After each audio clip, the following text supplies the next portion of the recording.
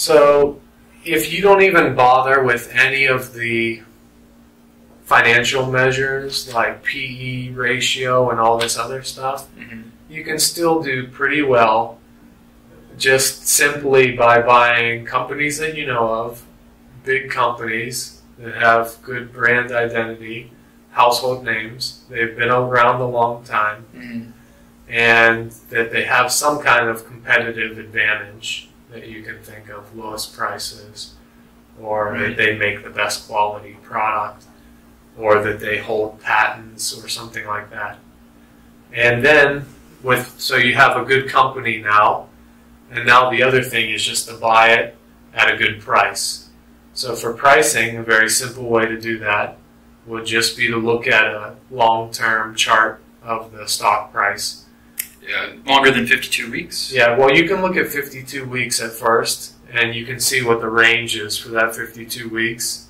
and then you can just try to buy as close as you can to the 52 week low. Okay. Uh, but I would look at even longer than that. I would look at two years or more. Okay. Two years, and then I would look at the chart for five years, and then the chart for 10 years. As long as you can. Yeah.